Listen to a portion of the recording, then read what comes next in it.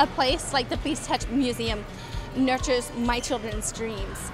We are one of the 10 leading children's museums in the country, and there really is no more extraordinary experience than Please Touch Museum.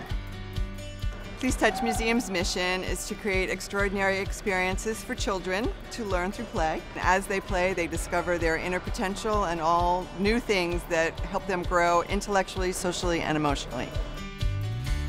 As a teacher, the Please Touch Museum is, is phenomenal, and the facility is, is really wonderful. We have an agreement with the City of Philadelphia that um, children grades one and under can come here for free. We're pretty involved in making sure that uh, cost is not a prohibitor to families coming to Please Touch Museum.